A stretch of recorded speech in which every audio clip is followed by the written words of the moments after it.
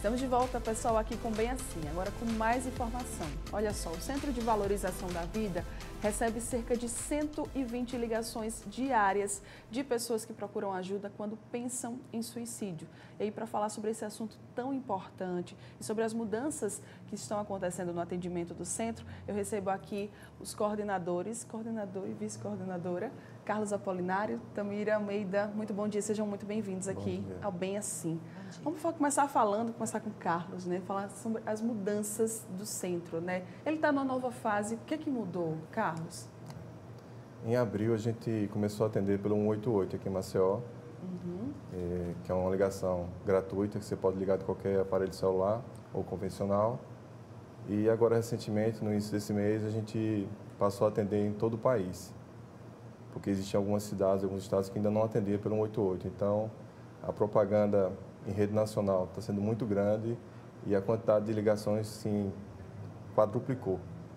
A gente tinha uma média de 8 mil, 9 mil ligações e nós chegamos a 40 mil no primeiro dia.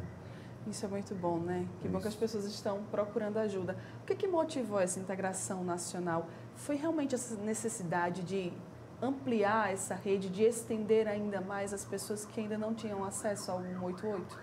É, isso tudo começou com um convênio entre o CVV e o Ministério da Saúde. No dia 30 de setembro de 2015, foi, feito, foi formado um convênio onde o Ministério da Saúde se comprometeu a arcar com os custos dessas ligações e foi feito um projeto que até 2020 todo o país seria coberto pelo, pelo 188.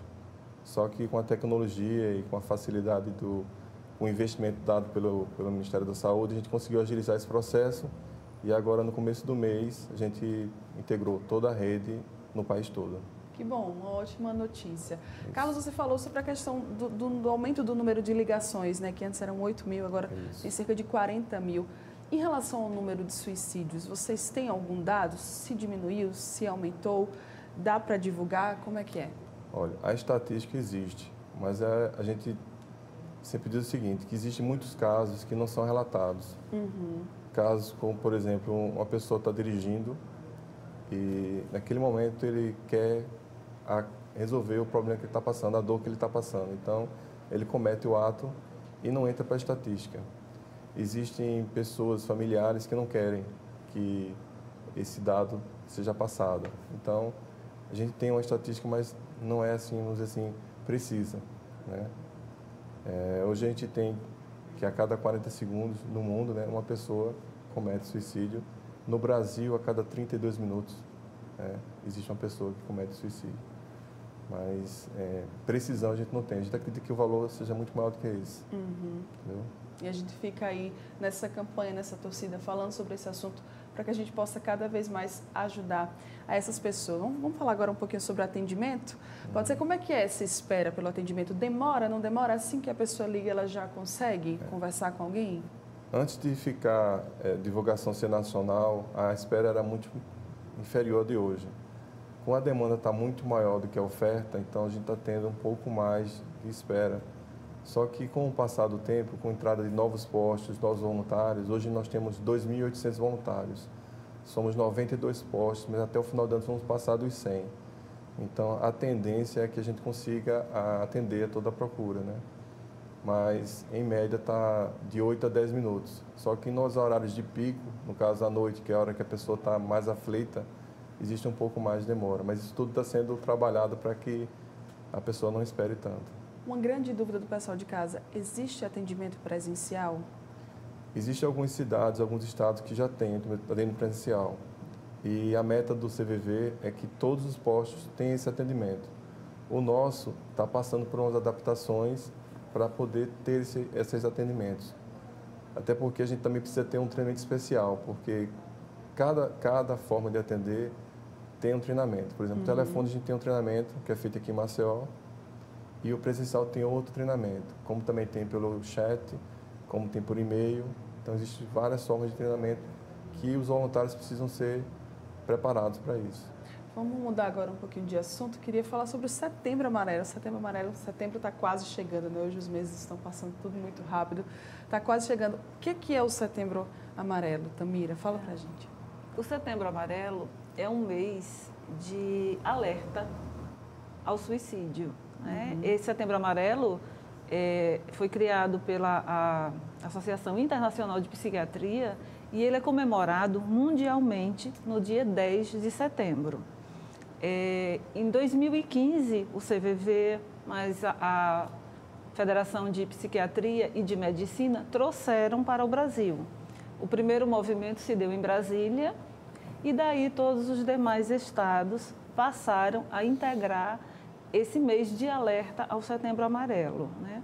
tendo em vista que 90% dos casos de suicídio são motivados por pessoas que têm algum tipo de transtorno mental, uhum. sejam eles depressão, é, síndrome do pânico, esquizofrenia, também é um dos casos, e também o uso de drogas, do álcool, as drogas ilícitas e ilícitas. Então, 90%, 90 dos casos de suicídio são motivados por, por transtornos mentais. Né? Certo. E aí o Setembro Amarelo aqui, vocês estão preparando alguma coisa? Vai, vai haver alguma, alguma campanha, alguma intensificação ainda mais eh, da, da, divulgação do CVV, da importância de ter esse canal na nossa sociedade? Sim, no mês de setembro nós temos algumas ações, né, palestras, mesas redondas, sempre com o intuito de alertar a população e esclarecer a importância né, do mês como alerta e esse aumento de suicídio. Lembrando sempre que o suicídio é um caso de saúde pública. E especialmente no mês de setembro, o nosso posto aqui de Maceió faz um ano. Então é um mês onde a gente tem Até muito, comemorativo, né? Exatamente. Tem muitas ações nesse mês e eu já peço permissão para que, quando nós tivermos o nosso Com calendário, certeza. trazer aqui para fazer uma divulgação. Com certeza, nem pensava. Ela já fez o convite, eu já ia fazer o convite de volta. muito bem. E o centro precisa de voluntários, pessoal. Hoje, quantos voluntários tem? Está aberto para que novas pessoas, talvez você esteja interessado em ajudar outras pessoas que estão precisando muito de ajuda, de apoio, de um consolo, de uma palavra amiga. Como é que pode fazer para participar? Sim, o nosso o CVV sempre precisa de voluntários, porque o trabalho só existe por causa do voluntariado, né? E nós aqui em Maceió precisamos sim, nós estamos encerrando uma turma no próximo final de semana e já abrindo uma outra turma agora para agosto. As inscrições elas podem ser feitas através das nossas redes sociais, né? Do, no arroba CVV Maceió, no Instagram, está lá o link, e também na página do Facebook, que é o CVV Maceió. Então, é um treinamento com aulas teóricas e aulas práticas, né? feito aqui mesmo em Maceió. E o pessoal que quer participar já pode correr para se inscrever. É, vamos fazer o seguinte, eu queria que vocês deixassem uma mensagem para cada um de vocês, Carlos, Tamira, para o pessoal de casa que está nos assistindo. Talvez você esteja precisando de ajuda e aí essas pessoas elas podem te ajudar muito, muito mesmo. Vou começar, começar com Carlos. Bom, é, as pessoas que estão passando por algum sofrimento, tiveram alguma perda, liguem para o 88 a gente está lá à disposição, 24 horas por dia. Você pode ligar de qualquer aparelho, tanto celular como convencional, que vai ter sempre um voluntário para te escutar, sem te criticar, te compreendendo, sem, dando, sem dar conselhos, simplesmente para ser um amigo temporário para te ajudar. 24 horas, de segunda a segunda. E as pessoas que conhecerem alguém que também estão com dificuldade, passe o número, divulguem. Eu agradeço. Bom, primeiro nós gostaríamos, em nome do CVV, de agradecer ao, à TV Mar, né, a oportunidade de estar aqui mais uma vez no seu programa. É, e, e continua o alerta. Aquele que se sentir apto para ser voluntário, maior de 18 anos e com disponibilidade de tempo para ajudar e para ouvir, é, será bem-vindo ao nosso programa CVV.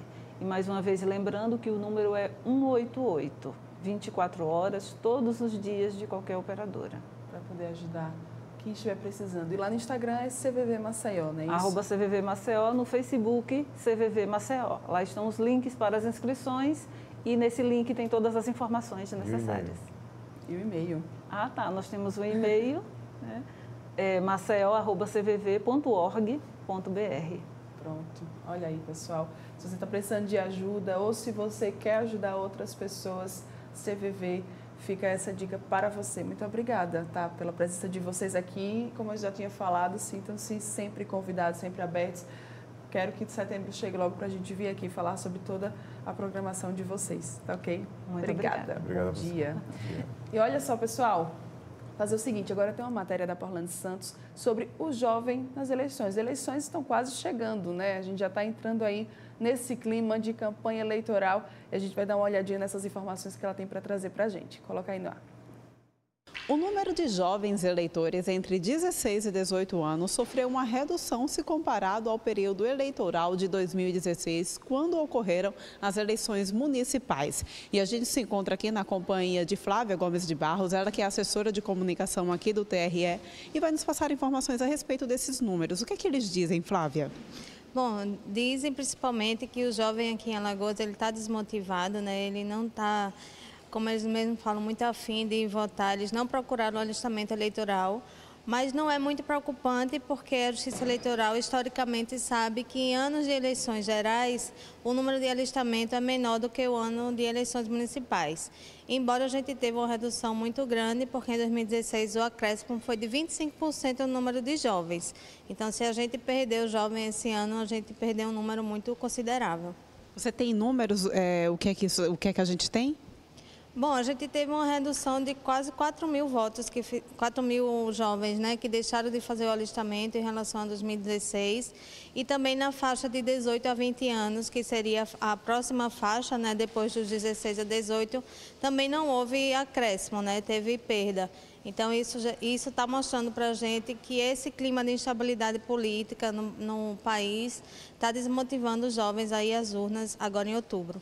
Agora, por que que geralmente o período de eleições municipais a gente percebe engajamento maior da população? Porque eleição municipal, é, as pessoas se engajam mais por serem muito próximas dos candidatos, né? É um pai, é um tio, é um cunhado que vai se candidatar a vereador, a prefeito. Então, os, os municípios geralmente se inflamam mais, né? As pessoas se engajam mais e fica aquela verdadeira guerra nas cidades. Então, quem tiver realmente mais eleitor, leva.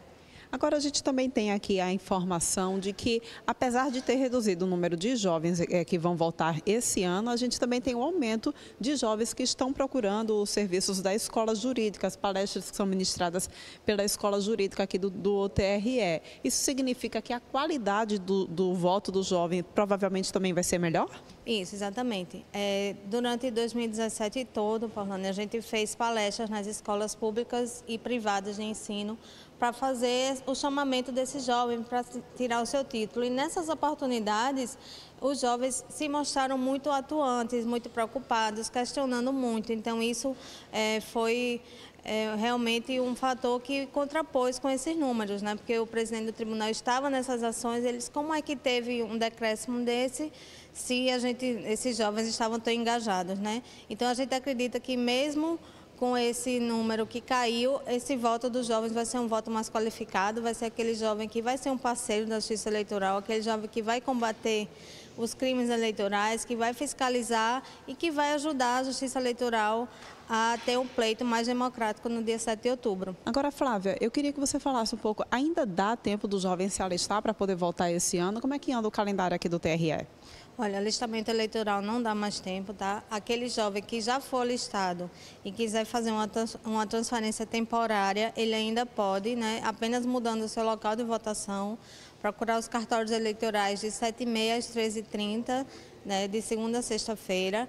E agora o calendário ele prevê que dia 20 de julho começam as convenções partidárias, as escolhas dos candidatos, e eles têm até o dia 15 de agosto para fazer o registro das candidaturas. 16 de agosto a campanha está liberada, propaganda na rua, na internet, na televisão e tudo. Pois é, olha, essas são as informações então aqui do TRE para você, jovem que está em casa, da próxima vez se engaja mais nesse período eleitoral. A gente precisa do teu voto consciente e com qualidade. Com imagens de Flávio Santos, Porlane Santos para a TV Mar, canal 25 na NET. E é isso mesmo, tá, gente? Eu sempre gosto de falar que o futuro do Brasil, ele depende de nós, votantes. Então, se você é jovem, se engaje, procure saber sobre o seu candidato, sobre aquilo que você acredita, sobre aquilo que você acha que vai ser o melhor para o Brasil e faça uma escolha consciente pensando no coletivo, pensando que o Brasil ele não é só teu, tá? Ele é habitado por muitas e muitas e muitas pessoas. Então a gente sempre precisa ter essa consciência de olhar para o futuro, de entender que o poder de mudar o nosso futuro, de, de ter uma, uma nova condição de vida, enfim, de ter uma nova configuração na nossa sociedade, ele depende totalmente da gente. Nós temos esse poder, que é o nosso poder de escolha nas urnas, quando chegam as eleições que acontecem a cada dois anos. Então, fique bastante consciente, se engaje, saiba exatamente aquilo que você quer para o seu futuro, para o futuro do seu país, da sua cidade, do seu estado e também, é claro, naquilo que você defende, naquilo que você acredita, tá? Quando a gente tem essa consciência, as coisas elas começam a tomar mais corpo, enfim, a serem muito melhores. É o seguinte, pessoal, nós estamos ficando por aqui, tá acabando o programa Bem Assim. Muito obrigada, tá, pela sua companhia nesta segunda-feira. Começamos a semana juntinhos, começamos a semana bem, eu gosto mesmo quando é assim. E amanhã a gente se vê de novo, tá? Tem 10 e meia da manhã, mais programa Bem Assim aqui na telinha da TV Mar. E agora a gente fica com a mensagem do psicólogo Carlos Gonçalves. O tema de hoje é agressividade. E aí, você é muito agressivo, então conhece alguém que é muito agressivo? Dá uma olhadinha nessa mensagem. Muito obrigada mesmo pela tua companhia. Um maravilhoso começo de semana para você. A gente se vê amanhã. Tchau, tchau.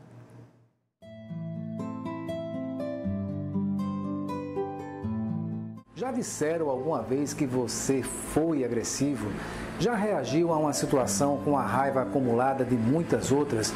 Pode ser difícil admitir que foi agressivo, uma vez que nem sempre a vontade ou a intenção era essa.